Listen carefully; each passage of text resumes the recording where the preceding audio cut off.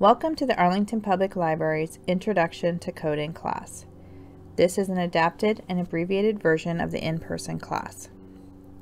I am Sarah Campany, the Digital Literacy Librarian. If you've been to our central library, you may have seen me on the reference desk. I developed this class based on patron feedback that they were interested in learning to code, but didn't know where to start. Therefore, this presentation includes lots of links that you can use to continue your exploration of coding. These can all be found on the Technology Class Resource Guide. The link to this guide can be found in the description below the video. I hope that this ideas and present excuse me. I hope that the ideas and information presented in this course are useful and help you get started learning. Thanks for joining me. Why is learning to code important? There are a lot of technology job prospects. BLS, which is the Bureau of Labor Statistics, projects that computer and information technology jobs will grow 12% from 2018 to 2028, which is much faster than the average for all occupations. Also, coding presents a new skill toolset for problem solving. There are opportunities to automate repetitive tasks in the office and other environments using simple scripts. You can make your life easier. This presentation provides an overview of coding terms and some of the common programming languages. Additionally, we provide resources to help you get started. We will cover the skills needed to start learning to code, definitions for coding terms, descriptions of the basic common coding languages, resources to learn coding, and coding tools you can use from home.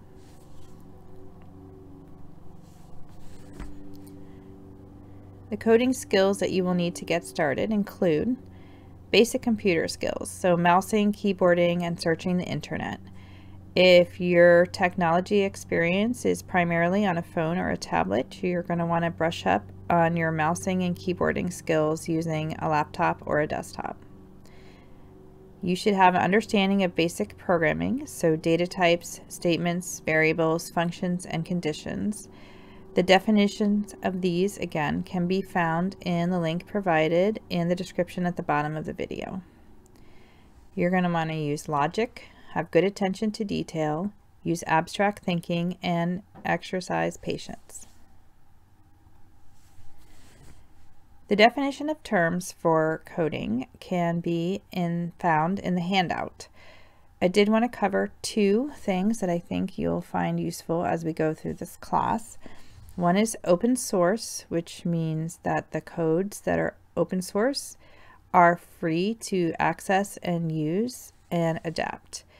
Open source does not necessarily mean that they're free, although many open source coding paradigms and languages are free. Also, I wanted to go over front end and back end. So front end refers to the client side or user side. So if you are trying to make a reservation using the Southwest Airline website, the boxes and information that you're using on in your browser are the client side. So you're putting in information such as your destination airport and your dates that you want to travel. And then on the back end, which is the server side, they're running all kinds of calculations to give you the flights, the prices, the times, and all of that data. So that's one example of the client side, which is what you find in your browser on the Southwest site, and the server side, which is all of the data that they're using to calculate based on what you've inputted in your browser. The basic coding languages that we're covering today are Python, Java, Ruby, Ruby on Rails, HTML, CSS, and JavaScript, PHP, C language, C++, C Sharp, SQL, and Swift. We're going to start with Python, which gets a green star because we do offer an in-person class of Python. Actually, we have two. Um, Python is an object-oriented, powerful yet easy to learn and good for beginners class. It's open, excuse me, good for beginners code.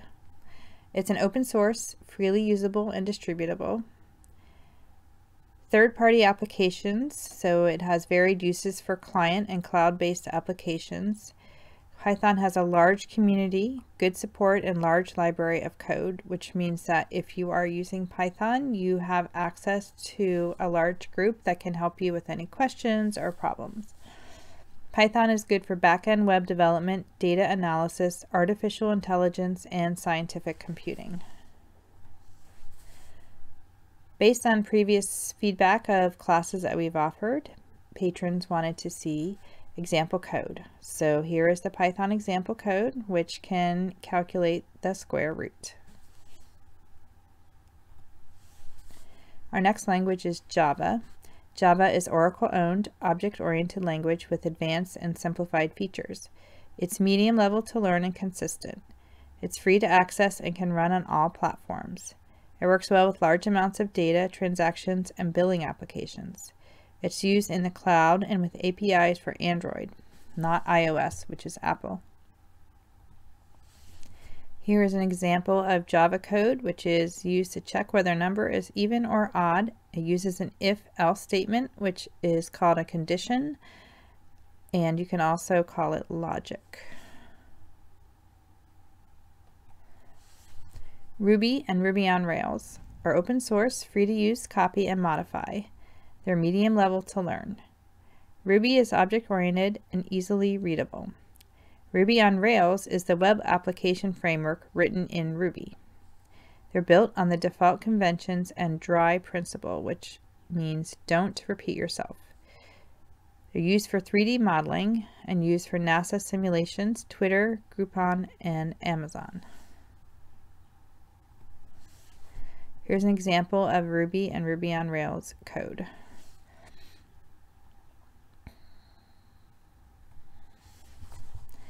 HTML, CSS, and JavaScript are the three backbone components of web design.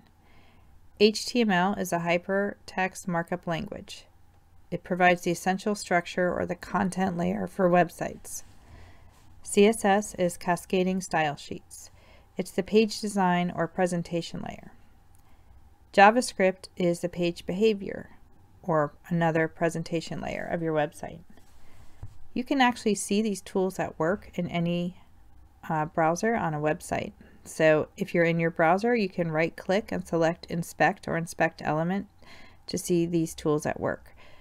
I'm going to give you an example. I'm going to click on one of these links here in my presentation, which brings us to this website.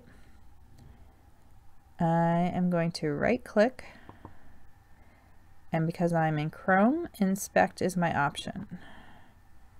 On the right hand side, you can see these tools at work. I'm going to scroll up and just select this first one. And I'm going to scroll down here to font size. I'm going to change this and pay attention to the subtitle of the website, the words, the world's largest web developer site. I'm going to update this from 15 to 30. And you can see that this just got much larger. The world's largest web developer site got much larger. And that's how you can affect a website. Please be mindful that this does not change the actual website it you can't save your changes so if you come back to this website later you're not going to see what you changed but if you did want to play around a little bit with some of these tools this is a way that you can do it. Get back back into my presentation.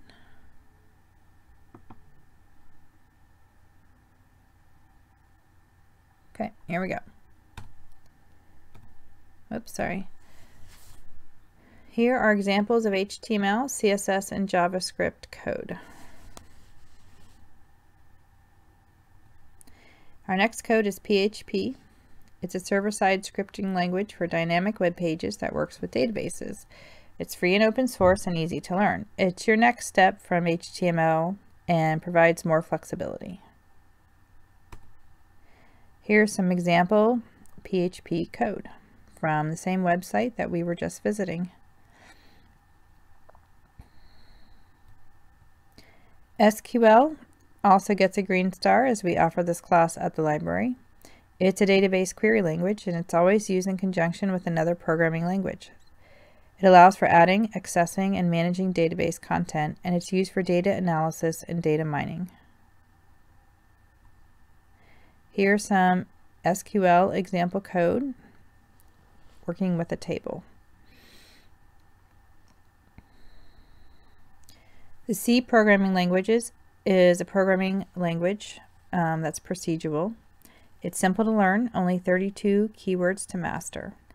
It's used to develop systems applications that are integrated into operating systems such as Windows, Unix, and Linux. Here's an example of a C programming language with an if statement.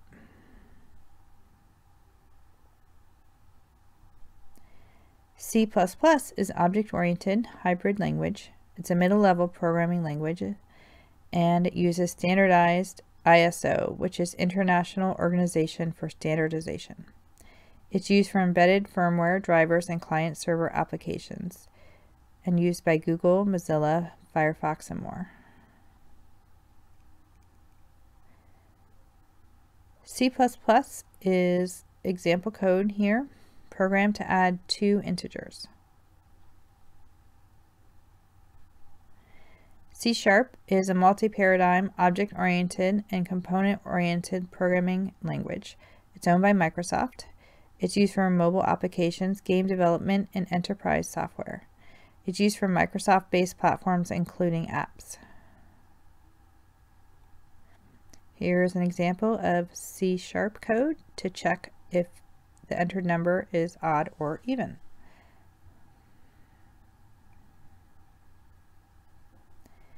Finally, Swift is a medium-level language owned by Apple. It's used for mobile applications, game development, and enterprise software. It's used for Apple-based platforms, including apps. And here is a Swift example code.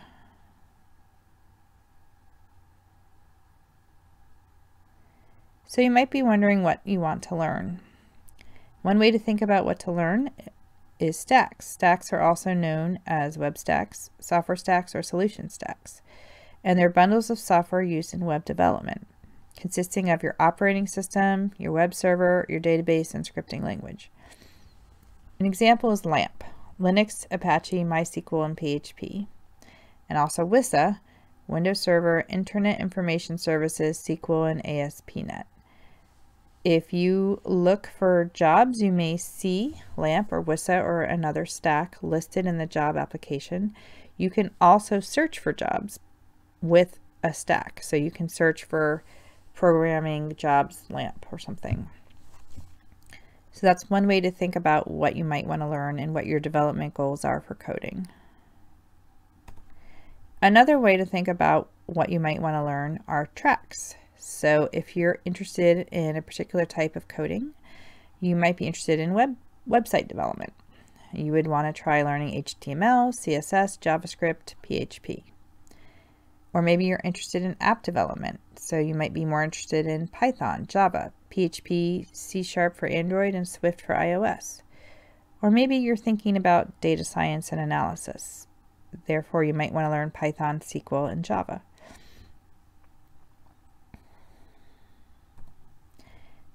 Where can you learn how to code in person in the Arlington, Virginia area? Well, we have free in-person classes at the library. Not right now, but we do offer them at the library when we're open. Computer Core offers low basic computer classes with a job focus. They're not primarily coding classes, but if you're really just getting started, you might want to look into what they have to offer.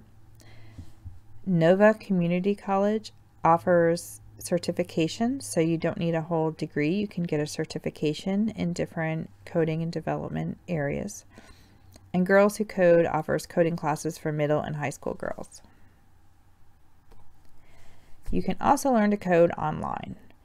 So through Arlington Public Library with your library card and PIN, you have free access to lynda.com video tutorials.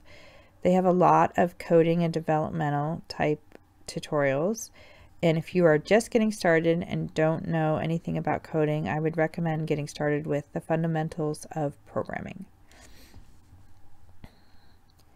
The W3 Schools has a free site to learn to code and includes testing. Khan Academy also offers free classes, including basic programming.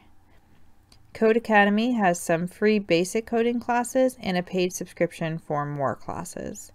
And then Nova Community College offers online learning as well as their certifications that I mentioned in the previous slide. Some additional coding resources you might find useful are Stack Overflow. It's an open community and coding knowledge base. GitHub, which is a development platform with a free plan option. Replit is an interactive cloud development with free plan option. The first web designer has a list of free coding editors. When you are coding, you will probably make some errors in your code and you're going to want to use a code editor to find if your code can run and if not where the errors are. The final link is Free Code Camp has a list of coding challenges. And so if you're learning to code, you might want some goals or some things that you're trying to code and say they have some coding challenges on their website.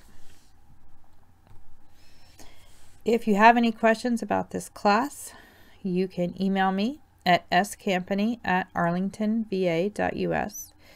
And if you're interested in getting started with coding, but you're not sure how to get started and you want some more resources, you can include information about your goals and I'll put together a playlist and some resources to help get you started. Thanks for joining me today. I really appreciate it and I am signing out.